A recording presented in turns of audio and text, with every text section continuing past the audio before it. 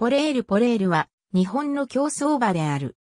バローネターフ以来18年ぶりとなる中山大障害を3連覇を成し遂げ、90年代後半の障害競争を支えた名馬である。担当調教助手は鈴木隆。平地では1993年11月13日の3歳新馬でデビュー勝ちを収める。しかし、それからは7戦未勝利。4歳夏にして、早々と障害入りする。障害競争では、井出光一が主に騎乗していたが、障害初勝利は8戦目となかなか勝ち上がれず、落馬も経験している。その後も400万条件で赤敗を続けていたが、一勝馬のまま格上挑戦した1995年の京都障害ステークスでは 55kg の軽量を活かして道中先段からレースを進め、最終障害でつまずきながらも逃げたマヤのギャラクシーに並びかけ、直線での叩き合いで首差せ気配した。そして自走の東京障害特別でも中盤のタスキコースの大竹作を過ぎて先頭に立つ積極的な競馬を見せ、優勝したグレートリーフには直線半ばで捉えられ7馬身離されたもののメジャーウィナーを鼻差しのいで連続して2着となる。しかし、京都大障害は中段から最終第2コーナーで逃げていた栄新高校をかわして一旦先頭に立ったが直後に栄新パーシーにかわされ交代。4着に敗れた。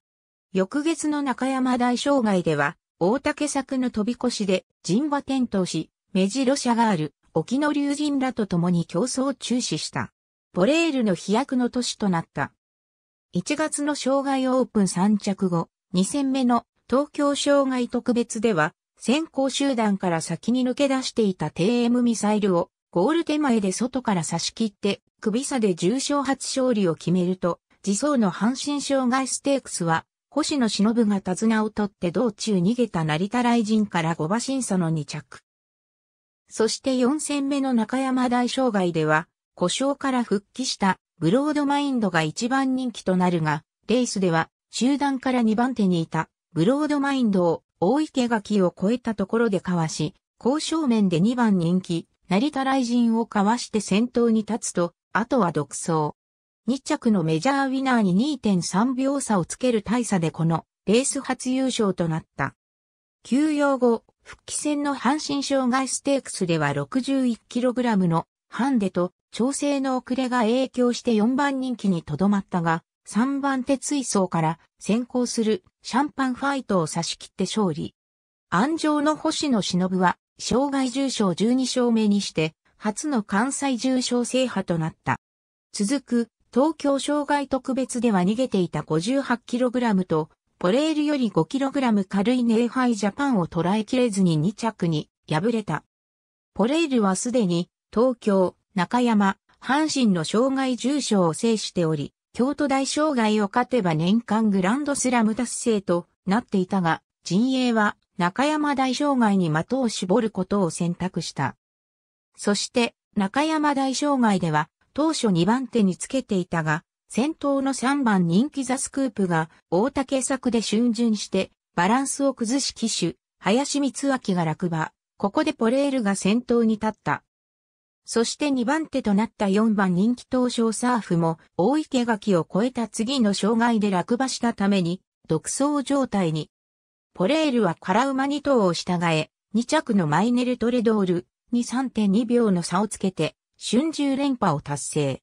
年間障害重賞4勝は1988年のヤマニーアピール以来8年ぶりのことであった。この年、最優秀障害馬に選出される。初戦の東京障害特別では 65kg の斤量と大外10番枠から外を回らされる不利な状況もあって、直線入り口で一旦先頭も直線一機のマイネルトレドールに差し切られ、ケーテタイガーとの競り合いにも敗れて3着となった。続く中山大障害では、星野忍騎手引退のため、井出光一が騎乗。中盤3番手から大池垣の飛び越しで、ストレートアンサー、天正名人の2頭をかわして先頭へ。ゴール直前で外に膨らむシーンがあったものの、マイネルトレ通りに一馬身半のリードを保って1979年のバローネターフ以来となる3連覇を達成した。ポレールが活躍した当時は現在と異なり、障害競争では、重賞でもハンデス戦や重賞勝利数による別定戦で金量が青天井であり、ポレールはどのレースでも 65kg 以上の金量を背負うこととなった。とりあえず、バローネタンフと同様に天皇賞に出走した後、陣営は障害オープン競争で原料騎手の山本康を起用、中山大障害4連覇を目指すこととなる。なお、秋初戦の京都大賞店では逃げる、メジロファラを見ながら4番手を追走。直線も大外で粘って0.6秒差の6着に検討している。そして1997年中山大障害。当時の規定で5歳以上ボバは基本重量 59kg、同競争勝利数によって 2kg ずつ増量される。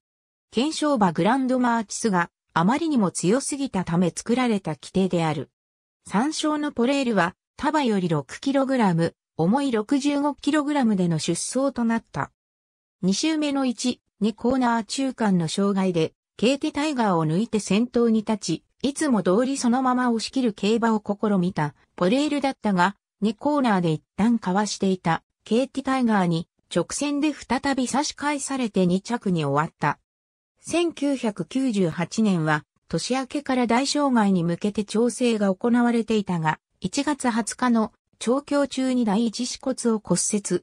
放牧に出されて10ヶ月の間休養した。10月に京都で復帰して4着に入ったが、2戦目の障害オープンで落馬して、共に外傷を負い、再び大障害を回避して休養を余儀なくされる。1999年から障害競争改革によって中山大障害が定量になるなどの変更が行われたが、1月の夜、ジャンプステークスで9着と惨敗すると、その後馬体が枯れて、出走を続けられなくなり、岩木温泉に放牧に出されて1年2ヶ月の長期休養に入った。2000年3月にようやく復帰し、大阪杯を叩いて中山グランドジャンプに出走したが、2周目の3号障害で落馬し競争中止。このレースを最後に JRA 競走馬登録を抹消し、現役引退となる。引退後は虚勢され2001年春より阪神競馬場にて誘導馬として在籍していたが、2010年3月20日の阪神競馬第11競争を最後に誘導馬を引退。その後は鹿児島県有水町のホーストラストで余生を過ごしていたが、誘導馬引退から3ヶ月後の7月1日に横角膜ヘルニアにより死亡した。ガレイコール疲労によりは体重が減り削やが冴えず、体調が低下している状態。ありがとうございます。